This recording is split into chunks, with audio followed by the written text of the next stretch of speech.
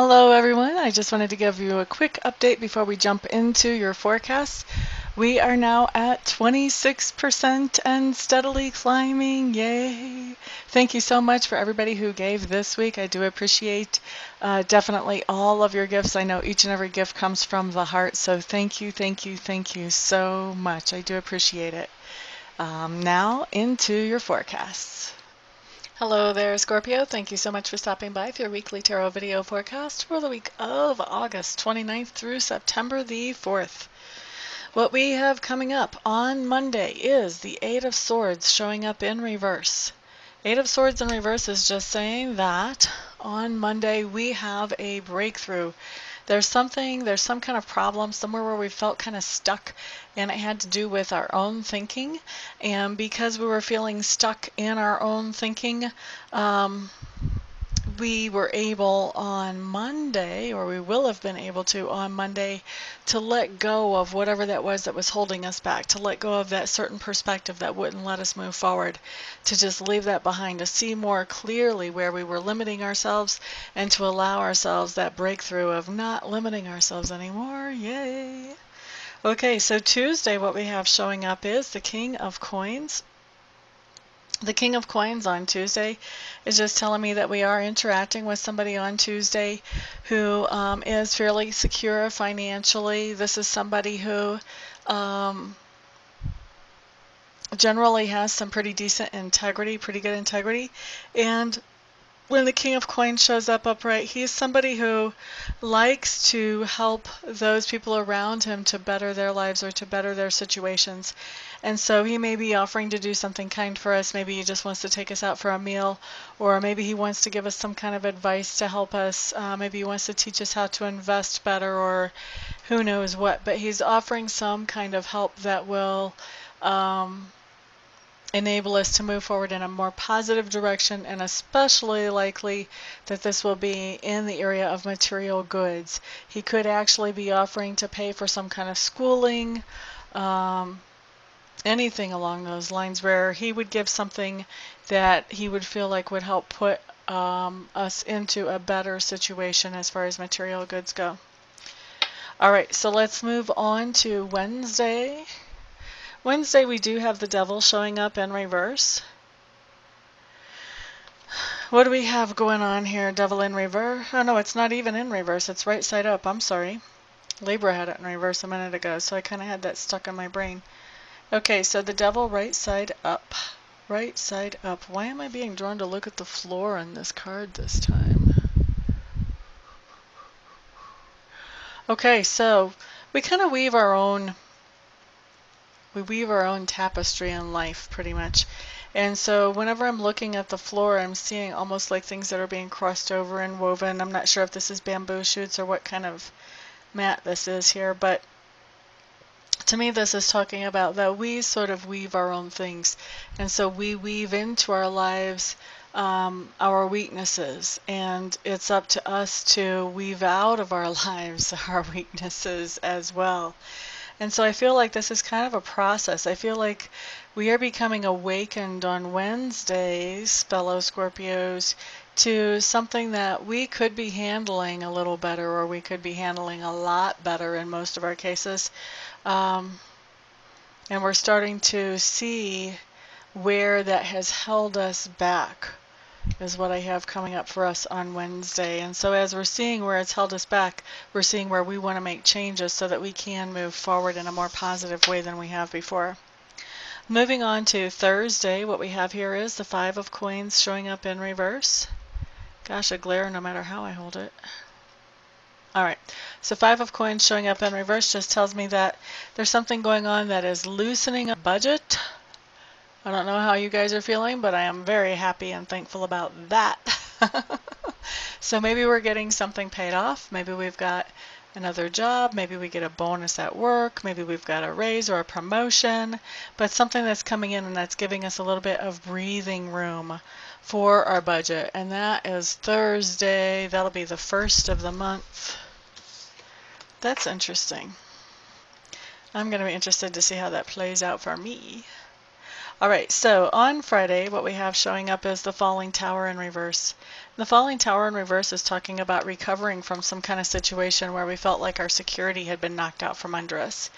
And so when we have the falling tower in reverse and we're doing that recovery, what we're finding out is there are some opportunities around us that we weren't really even looking for before and so we are finding those and we're finding them to be better than whatever was taken away from us as far as whatever made us feel secure that's no longer a part of our lives anymore.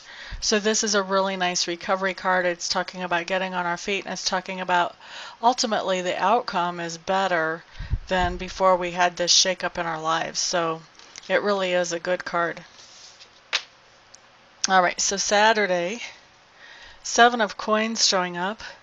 Seven of coins just tells me that there's something that we've put some energy or some investment into, and now we're harvesting the energy or investment.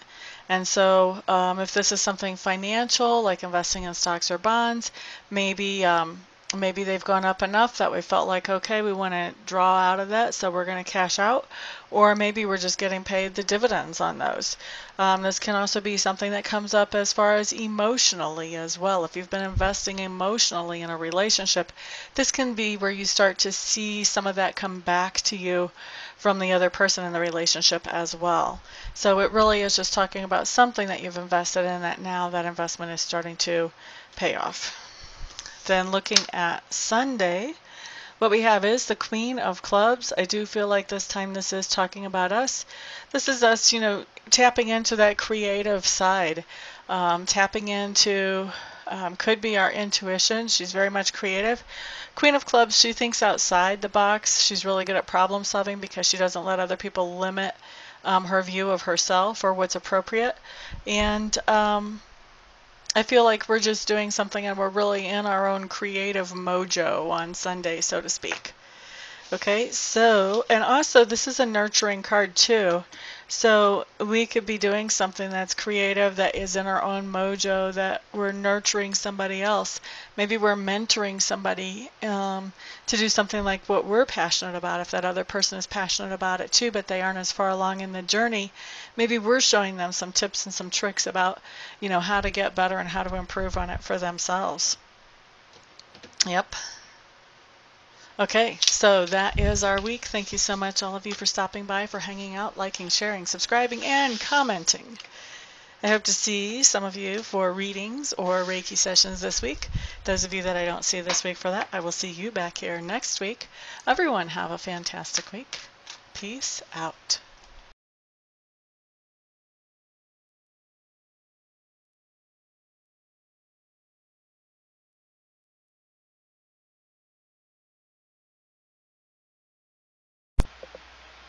Hello everybody, this is Amista, and I am coming to you today with something completely different than what you've ever seen here before, completely different than what I ever thought I would do. Um, I have been taking Reiki training and I've gotten level one and I've gotten level two and I really want to take master training because already I've realized that there are other people out there who need to know how to be um, able to do Reiki for themselves. And I'm not able, I'm not qualified to show them that or to teach them that or to pass that on to them or empower them with that until I become a Reiki master. And so I was looking into a Reiki master program and I meet all the qualifications as far as that goes. I've been accepted into the master program. But the last little bit of money is what I need some help with, and I'm hoping that you guys um, will help me with that. Um, I need to raise another $3,000 to get myself into the program, and so that's where you guys come in. Um, what I'm doing is I am accepting very happily and very thankfully and very gratefully any donations that you may feel like you would want to give. If you don't want to, obviously, then don't. um, but if you do feel like you want to help me to get into this Reiki Master Apprenticeship Program, any help that you, any of you and all of you send is great. Uh, no donation is too small. Um, I just ask that they're over like 35 cents because I think PayPal will take 35 cents of whatever comes in um, as a fee for collecting payment. But anything other than over 35 cents is no donation, donation is too small. So there's the corrected version of that. Um, and actually I was looking with, I have over 7,000 subscribers. If every subscriber donated a dollar, I would be able to end this um, request. But so if you would like to donate, I would be extremely thankful. I would appreciate that a lot. Also, I want to do something for you in exchange for donating. So anybody who would donate at all, um, I would like to offer you 15 minutes of uh, free Reiki distant healing.